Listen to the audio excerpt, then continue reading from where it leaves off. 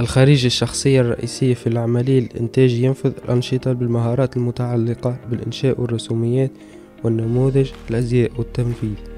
العملية القطع تجمع المنتج وتبيعت لديها أيضا المهارات الألزمة للعب الدور المصمم المرئي والمدير والمصمم الأزياء مختبرات التي يمكن استخدامها في المعهد مناسبة للتدريب.